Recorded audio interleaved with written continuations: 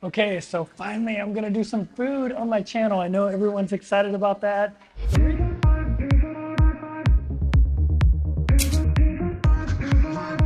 What is going on YouTube? Greetings from San Juan, Puerto Rico. This is a port that I've never been to, so I'm super excited to get out and explore. Another great thing I like about this port is this is one of those places that you can just walk off the ship and there's plenty of things to do within walking distance. There is a beach within a 30 minute walk. There's a national park with a historical monument within a 20 minute walk. There's all kinds of shops and restaurants in the area. So that's my kind of port. I don't have to sign up for any excursions and be on someone else's program. I don't have to try to find a taxi cab. I can just walk off the ship, go find food, go find really cool stuff to see. So I'm super excited about that. I don't know if you can see that, but there's a, a ship behind me. I'm not sure what cruise line that is. I, I don't recognize the logo. So if you know, comment down below. I'm super curious. And without further ado, let's go explore Puerto Rico.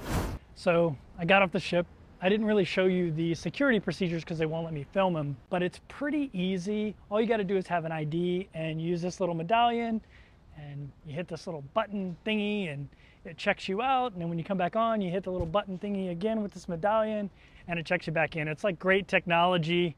So when you walk off the ship, you'll have a choice to go left or right. If you go left, it's towards the historical area where the national park is and some historic monument is. Or you can go right and you can head towards the beach area and I think a little bit of like an old church town type of feel. And it's just beautiful. I mean, they have this amazing walkway here that you can see. Uh, really neat uh, and really convenient. You can see there's a ship right there behind me. So I think we're gonna try to find the beach area. It's about a 28 minute walk from where we are, which will be great because we'll be able to explore this little area near the port and see what's all here. See if it's worth getting off the ship and just walking around or if you really need to go take a taxi to Old Town. By the way, I'll be coming back here a few times, so I will explore Old Town and all those kind of places. But I wanted to see where I could walk to from the ship first. So that's what we're gonna go do. We're gonna go find this beach and, uh, you know, everything along the way. So let's go. So when you're walking along this pier area here, there's all kinds of things to do. Like you see the lady behind me, she's on that motorized power board or something going in and out of the port area. There's also all kinds of tours that you can take. They're pretty affordable. I mean, I think you can go up into in a helicopter for like 75 bucks. So that's actually not too expensive for a helicopter tour. I'm not sure exactly what it shows you, but there's all kinds of things that you can get into right here on the pier. If you didn't book an excursion, but then you get off and you're like, oh, I want to see that. Well, just look for it on the in the waterfront area. You'll probably find it. And if you really don't want to walk, but you also don't want to take a cab, there are these motorized scooters and bikes that you can just scan the app and rent them out for a little while, an hour a day or whatever. So that's a pretty good option. Only about a block from the ship is a Holocaust memorial next to a government building. I'm not sure exactly what the government building is. It's like something you'd see in Washington, D.C. A lot of marble, things like that. All kinds of pretty cool stuff to see really close to the ship. So we are only about, I don't know, maybe five, maybe 10 minutes from the ship. There's that old historical building right behind me, right? And you can see that from the ship. And bam, you're this close to the you know, beautiful beach. This is a walkway that runs this way. I don't know if you can see it behind me, but there's that old historical site I was talking about. It's actually pretty close. I don't think that's a 20 minute walk away. And then this way would be the beach with the sand. Uh, it's kind of rocky here, so it's not like a beach you would want to want to be on, but they have this amazing walkway and all of these bike paths all around the island. So you could rent a bike like I mentioned before and ride everywhere. It's pretty cool found all kinds of little lizard friends chilling here, soaking up the rays, enjoying the sounds of the ocean. What a life. Wow. Look at that. I can't express to you how awesome this walkway here is. Okay, it is super windy out here at the beach and there's definitely some waves and some choppiness, but I think it is time to get my toes in the sand.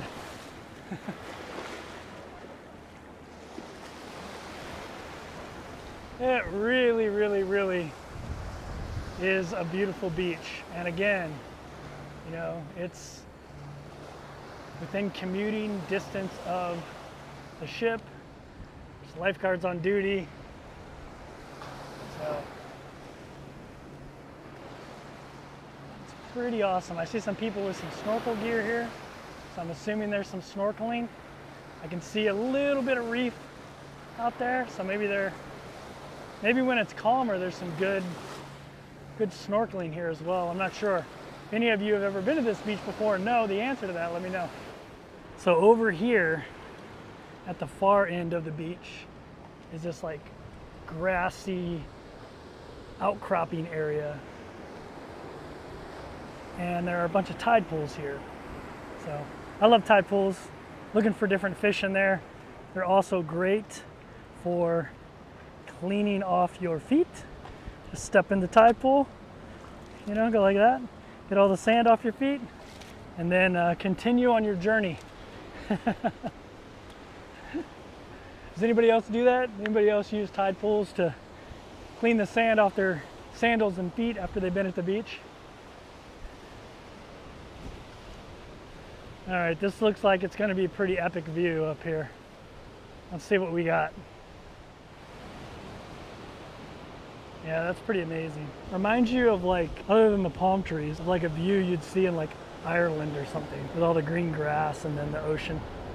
So as you keep walking along the beach, come across this little historical site, but you also come across a little protected area here. So you saw where it was before the waves were crashing and did not look like a good place for snorkeling at this time. But you come over here and you have a more protected bay.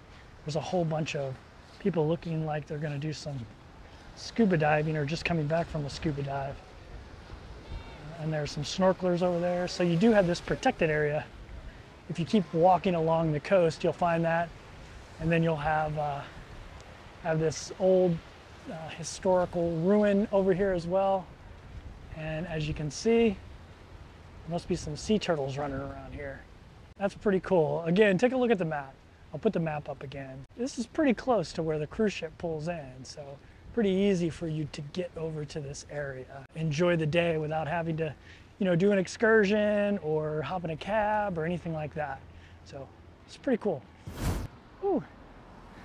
So I started walking away from the beach to go find something to eat. I'm actually starving and it started raining. It's one of those rains where there's like one little cloud that's raining and then clear skies.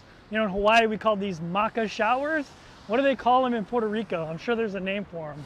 So my friend Chris saw that I was in Puerto Rico and she said, you gotta go eat some mofongo.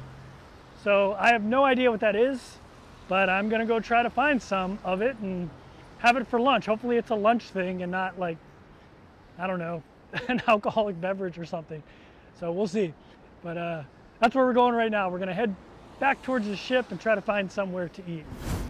Okay, so we made it to this historical site. It's called the San Juan National Historic Site. It's a national park. I'll be honest with you, I'm freaking starving right now. So as interesting as I'm sure this place is, I'm more interested in going and grabbing some food right now. So that's what I'm gonna do.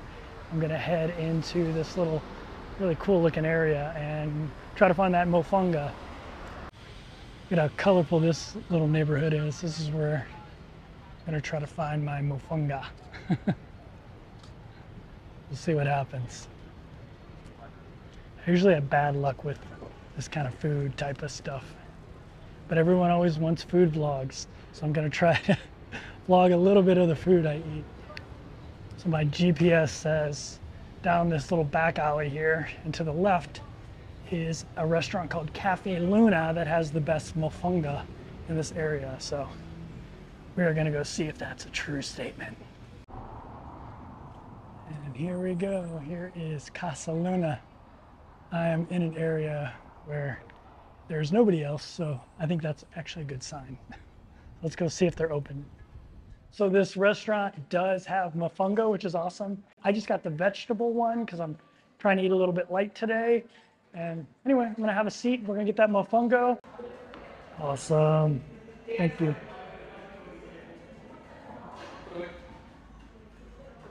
Okay, so finally I'm gonna do some food on my channel. I know everyone's excited about that. The reason I don't usually do food on my channel is I'm in a place where there's a ton of people and I can't talk and eat freely without being super embarrassed. So that's normally why I don't do it. I know I mentioned that before, but you'll see this is the mofongo. The owner told me that this is a traditional Puerto Rican dish that has African roots. It's plantain that is basically mashed down, kind of like mashed potatoes. They put garlic and all kinds of stuff in it, and you can get it with shrimp, you can get it with chicken, you can get it with all kinds of seafood. I chose to get it with vegetables because I'm trying to eat a little bit light here. But without further ado, I'm going to dig into this and see if my friend Chris was correct that this is super good. All right.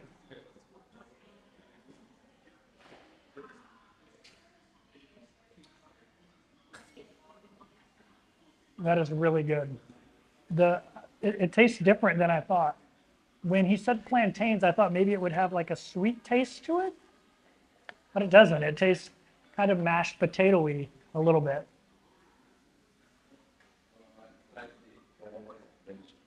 Yeah, that's really, really good. It's phenomenal, actually.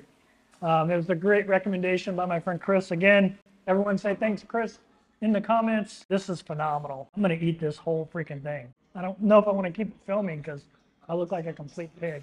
Oh my God, it is so much food. There's no way I'm going to be able to finish that. It's like, it's very filling. Uh, it's really, really, really good. Um, I mentioned that it kind of tastes like mashed potatoes, but the more I ate it, the more it was like, okay, it doesn't really taste like mashed potatoes. It tastes like its own thing. And it's just so good. Um, the owners of the restaurant came over and said, hey, next time try it with uh, different kinds of meat. It's really good with the different kinds of meat. This place is called Cafe Luna. It's within walking distance of the ship. It's a little bit out of the way down a back alley. So you'll probably be here with no one else from the ship, which is super rare, but you'll get to get this amazing authentic food in this really, really cool looking restaurant. So um, I think I'm gonna head back outside and maybe uh, start making my way back to the ship, showing you some of the things along the way. Oh, I'm such a bad travel vlogger. I ran out of battery on my phone. I just charged it up a little bit. I'm back on the ship. I left Puerto Rico. But like I said, I'm a terrible travel blogger. I need to get better at this. I should have been bringing a backup battery with me. But I'm going to throw you to Kevin from the past, Beach Kevin, to close this video out. If you enjoyed that video and want to watch more of my cruise content, make sure you click on my cruise playlist up here and if you're curious about my plan to live on nothing but cruise ships for a year, check out this video down here. Thanks for watching. See you next video.